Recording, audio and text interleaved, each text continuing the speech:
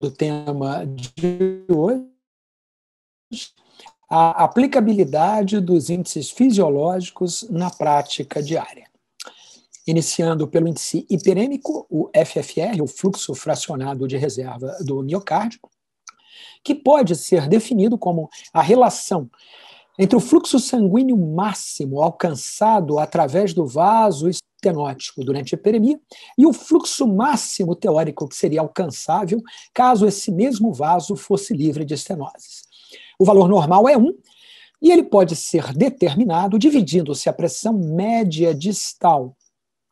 no leito coronariano medida através de um sensor que fica numa corda guia especial, e a pressão média em aorta medida na ponta do catéter guia.